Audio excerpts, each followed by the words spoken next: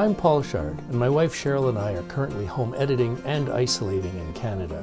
This episode was filmed in January 2020 BC, that's before COVID. So if you're hoping to plan your own escape, perhaps before the next flu season, then come along with us to the Bahamas on distant shores. We show our process for passage planning with an overnight sail in the Exuma Islands, share techniques for shallow water piloting, and meet a farming family that found an affordable way to escape for the winter.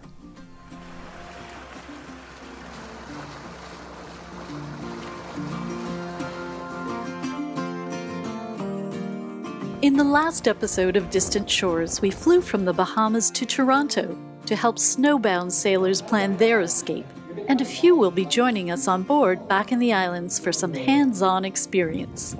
Well, we just came and took the water taxi over, so we're back on the dock here and uh, come back from a week in Toronto. We're starting off on one of the biggest journeys of our sailing career.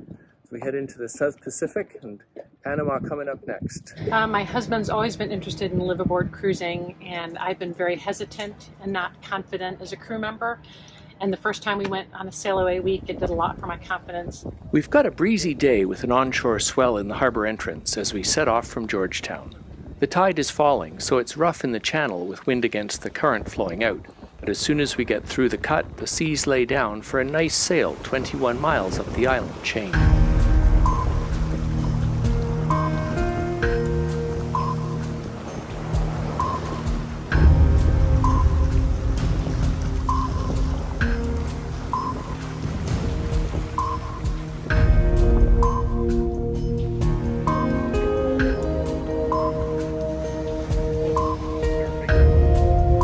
This time on Distant Shores, we're joined by four Sail Away Week crew, all eager to see the Bahamas, and we're lucky to get a run of excellent weather for the week we're sailing. But when we arrive at the channel back onto the banks, the ebb tide is at full strength with the current against the seas, giving conditions known as a rage.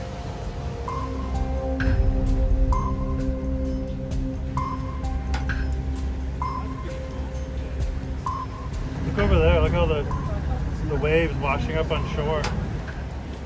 That's the rage. So right now we've got the tide is just ebbing off the banks into the sound. Water ebbing out comes into the contact with these big huge swells we were getting that got suddenly much taller and they call it a rage. Crossing from the deep water of the Exuma Sound back to the Great Bahama Banks side of the cut means shallow waters and protected anchorages as we explore behind the Exuma Island chain.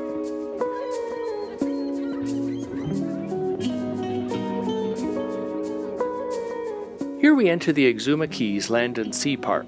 This area was created in 1958 to preserve and protect this unique environment.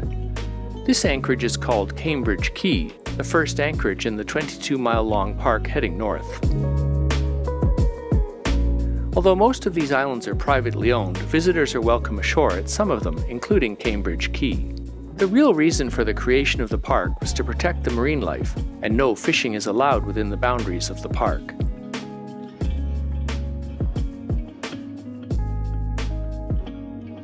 But in the Bahamas, all beaches are public up to the high tide mark.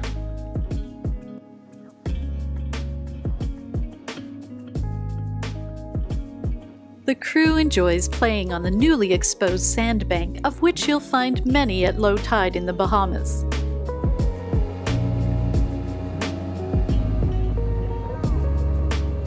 If you're looking for quiet and isolation, this is the place.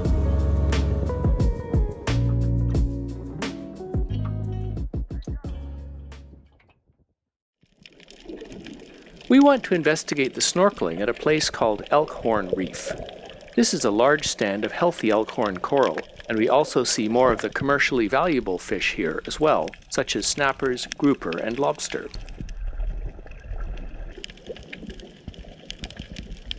the other one's still cooking. One? Greg is having Yeah, fun one. experimenting in the galley.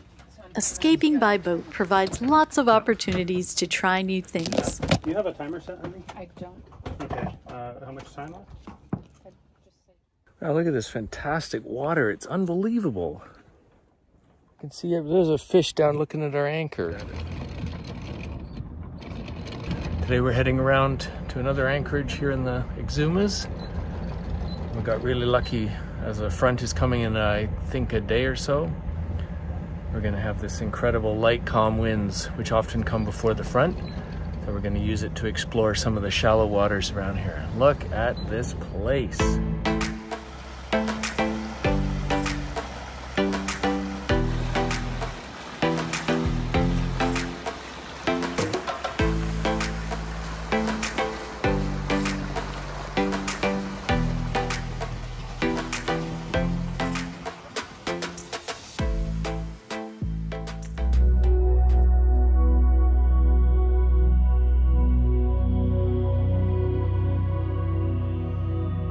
Piloting in the shallow waters of the Bahamas will allow you to visit more destinations and enjoy more anchorages, as well as being able to find more places to hole up for bad weather, so it's worth learning how to read the color of the water.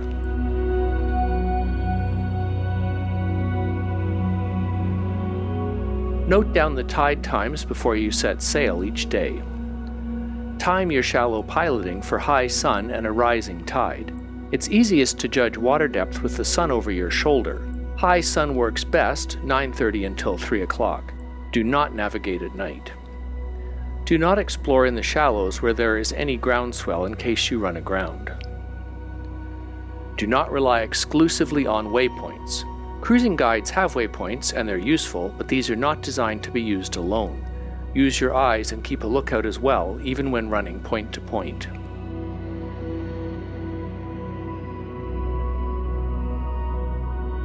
Wear polarized sunglasses. They cut the glare on the surface of the water so that you can see down into the water much better when wearing polarized glasses. Keep a good watch.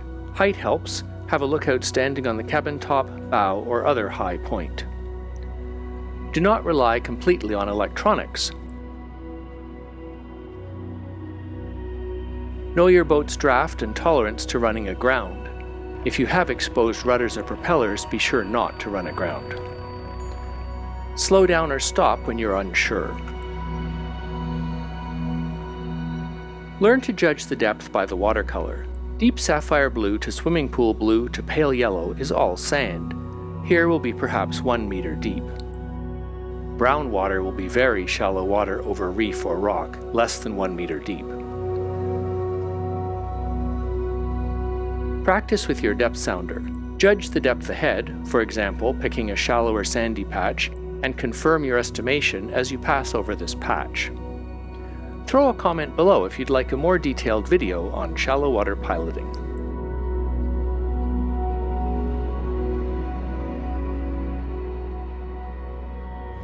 We're going to come into this corner here and anchor for a day or so. There's a cold front coming, I think, or part of one. This is a nice little hidey hole. What a day for it with the light winds. There's only one other boat here, and the crew of SV Freya recognize us and invite us over for dinner. We're later to learn that their escape plan is to live off the sea and their onboard garden. But first, take in this beautiful shallow anchorage of Pipe Creek.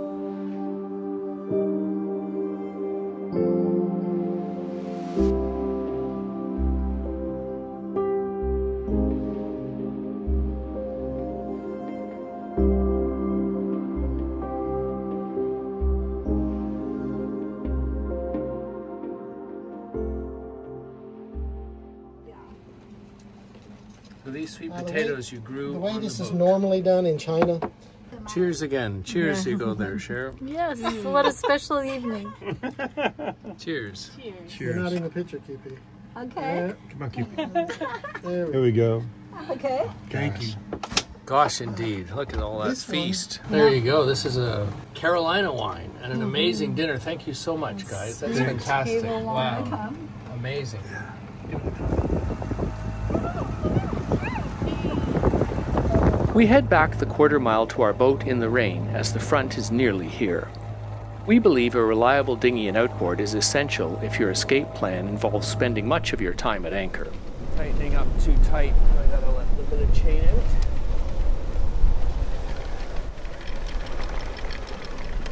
Quality ground tackle is another essential, and I'm letting out more anchor chain to deal with the strong gusts and lock it in again with the chain snubber. This is just as the front is passing, and we should be uh, calming down in the next hour or so. We got a really good, really good holding, and just checking the anchor app to make sure that that's okay too. That we haven't uh, dragged at all.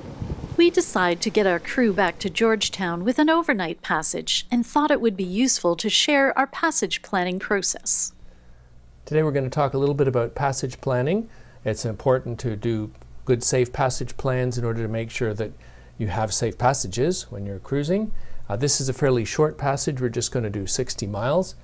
Uh, but it's the end of the week. We've had a whole week of cruising around the Exumas here, uh, up in this area, and now we want to get back down to Georgetown at the end of the week.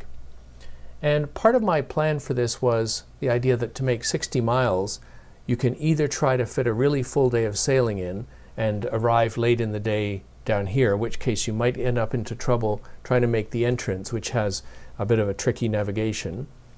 Or we could leave in the evening and do a night passage down the coast and then arrive in the morning and have as much time as you like, uh, perhaps even going slow to arrive a little later. This is an offshore passage. I thought it would be a good chance to get some night sail experience for the crew who had not done night sailing before, and I wanted to give them a really nice start to that. We saw a nice weather forecast for this. We have light winds at southwest and becoming force 3 to 4, which is going to be kind of close, close hauled like that but to offshore winds, so the sea should be nice and flat. Uh, the winds aren't going to be that strong. So, in other words, we should have a really nice night. So, you want to get people to really fall in love with sailing, get them out in some nice, nice kind of conditions so they're going to enjoy it. So, let's take a look at the next part of this. Now we know what we're going to try to do is make the passage uh, overnight. Let's take a look at the departure. Okay, so we're in here in Staniel Cay, anchored uh, in the area behind, in some bit of protection near the Staniel Cay Yacht Club. And the problem with this is that you're going to have to leave and go out through a really narrow constricted entrance and then out a bit of a dog leg and none of this is lit. So we don't want to go out in the dark. So that's why I thought we'd leave last thing in the afternoon, say 5.30 or 6 o'clock, when there's still a little bit of daylight, and make this navigation. We want to check the tides. We have a low tide at uh, 3.30 in the afternoon high again at 9 o'clock. So that means we have a rising tide as we leave here, so that's good for the plan. So if we do run aground somehow anywhere in here, we're just going to get lifted off as the tide goes higher. And we're going to do a couple of bearings just to make sure that we have an idea of this, this tricky little point where we get out and out of the entrance and where we go between a small mark that true to the Bahamas is probably not lit. So we're going to make note of that on the passage plan as well. And then our exit point. Then I'm going to put in a couple of waypoints in the GPS for the point we'll head to just outside of the entrance and um, a little bit of an offshore point. And from that point, we have a straight shot of something like 50, 50 miles or so uh, down onto Georgetown. I'm going to put those points in the GPS as well. And then we'll go and take a look at this end down here. Now here I don't want to come in in the dark again because this is one of the trickiest entrances uh, around. Nowadays with GPS it's a little easier but certainly in the first days when we came down here you were looking at coming in on a bearing angle off of the tree here on the hill and these keys. So you're lining that up to get a running line of something like 194 degrees I think. The trickiest part of this is that none of this is lit. There's no marks. There's no floating marks, no nothing, but there are reefs near the surface and it's a little hard to tell which of these keys in a row, which key is which, when you're looking at them as you come down the coast. So you need to have a waypoint here. We'll do that at the GPS waypoint and then head in on a bearing line to make sure we miss everything. And then once you've come in past the reef, you've seen where it is and you can come along beside it. You can only do that in daylight though. So uh, that's the Bahamas navigation, good fun. But in this case, we're going to arrive here around dawn, and if it's still a little dark, we can just wait a little bit, sail a bit more, and then make the entrance and uh, find our way into the anchorage. So that's pretty much our plan for approaching Georgetown from Staniel Cay. We can do it leaving at 6 in the afternoon, arriving 7 in the morning, something like that. Have a nice anchorage, a breakfast, and a swim, and we'll be down back in Georgetown.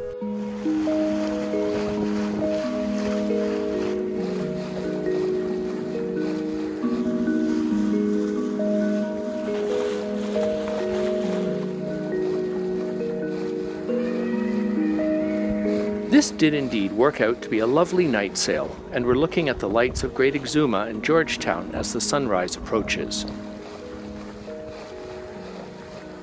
We're sailing slowly in light winds and make our entrance to the harbor as planned with daylight to do our bearings and see the rocks in the approaches.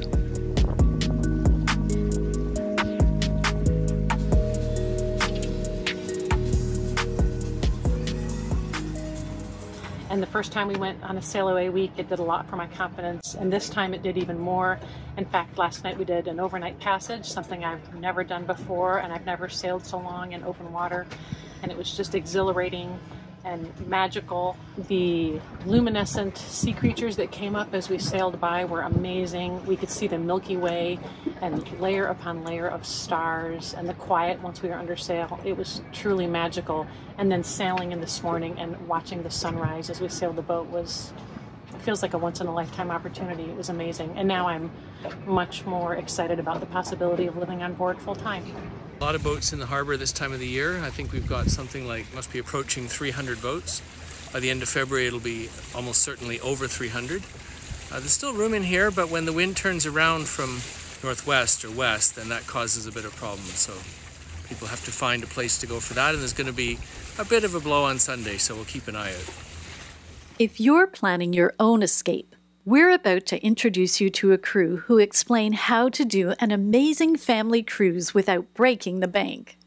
While at Exuma Docks putting on supplies, we meet Aaron and Dustin from Ohio, now cruising in the Bahamas. So yeah, it's it's awesome. It's amazing that you guys have really inspired a lot of people to do uh, adventure and live different lives. So we really Aaron and Dustin, farmers and YouTubers, cruise aboard their 27 foot sailboat with their two daughters. They learn to sail on the Great Lakes and escape to the sea for a few months each year. We invite them on board. I'm Dustin. I'm Aaron. I'm Sierra. I'm Morgan. Aaron and I, when we were teenagers in college, we had a dream. We shared a dream that we always wanted to sail, and we wanted to sail the ocean. We always thought that it took this huge yacht, you retire, yeah, a lot of you wealth. You spend a lot of money. Land life. Yeah, you retire on top of a big pot of gold, or you sell everything you own and move on to a boat. Well, hmm. we started to discover you can actually do it with a very modest income. And what we discovered is most people are more hands on, figure it out, Yeah. do it yourself type.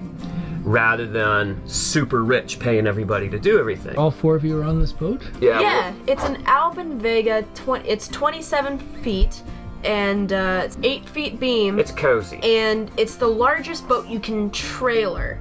So we live in Ohio, and we trailered the boat from Ohio to Florida, and then launched out of Florida into the Bahamas. And it it's an Albin Vega made in 1973. So it's 47 years Old old. boat. It's well maintained. Mm-hmm. Just polished the steel this morning. Just polished all the stainless today. That was the girls' job. You're all still friends. Yeah, exactly. We still good love each other. We're full-time farmers. We we have no desire, no desire to leave our land life. We we we live a very fulfilling life on land. Uh, we provide food for people. Uh, we grow.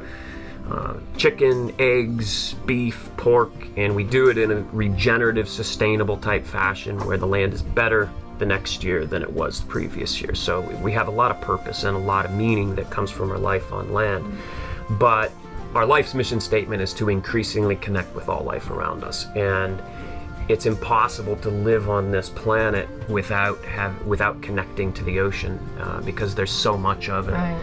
and that has been a good rhythm for us in our life is uh, the boat is a vessel for us to connect with the environment. The people around us the bahamian people are amazing. Amazing human beings and connect with each other. So living uh, full time for four months on. Kind of on. almost like arm's length, you Yeah. know, away from everyone. At all times. You do not have to walk with four people on that boat. You don't have to walk to get something. If somebody's in the V berth, Yeah. all you have to do is fire bucket brigade it right up to the cockpit. Yeah. Nothing is ever out exactly. of reach. Yeah. Yep, that's what we do. Thanks for watching. Your views, likes, comments, and shares help us a lot. If you'd like more in depth information and consultation, we invite you to check out the Distant Shores Cruising Club.